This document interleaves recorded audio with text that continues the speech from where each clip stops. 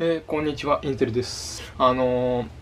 アルバイトを辞めて2週間、丸2週間経ちましたね。えー、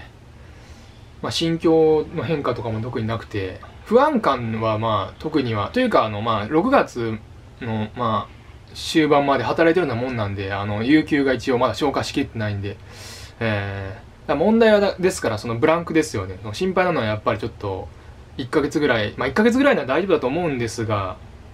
まあ、働いてないことによるその体力の衰えだったりちょっと気力のねやっぱうわー働きたくないなみたいなのはまあそれはないと思いますが、まあ、むしろちょっと働きたいと思ってるんで以前も言いましたがやっぱり生活にメリハリがないと張り合いがないというか、はい、やっぱりねその仕事があるから休みが楽しいみたいなのもありますから、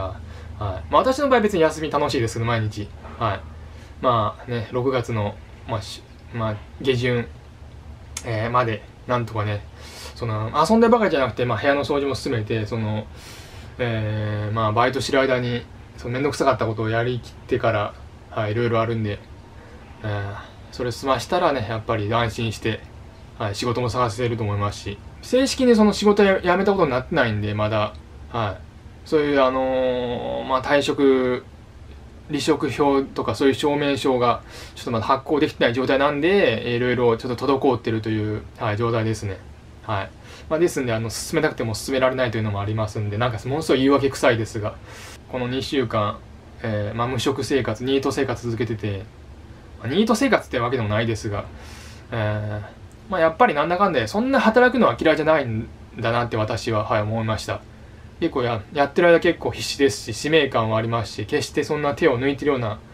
まあ、手を抜くこともありますが、はい、はい、もうこれは絶対終わらせようって一生懸命になることもはい。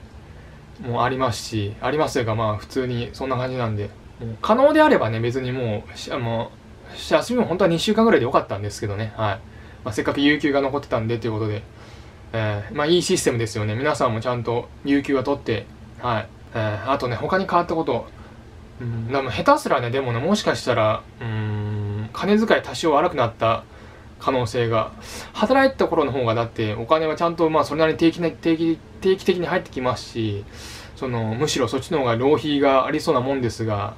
はい、働いてない時の方がむしろなんかお金に鈍感というかあまあこういう意味でもやっぱり働くって大事だと思います。はい、やっぱ金銭感覚がちゃんとその養われるというか自分でちゃんと稼いだお金だからそのちゃんと金あの金銭管理をしっかりしようみたいなのがあると思います。はい。えーやっぱね働くのもねやっぱりいろいろメリットがもちろん当然ながらありますから、えーまあ、仕事でストレスためないように、えーまあ、働くのは大事、まあ、難しいなかなかねやっぱ今難しいでしょうけども、えーまあ、とにかくねまあ今働いてない私が言ってもあんまり説得力が説得力ありませんがはい。まあねなんとかえー、まあ堕落しないようにだけはね今行きたいと思います。はい。ありがとうございました。いずれでした。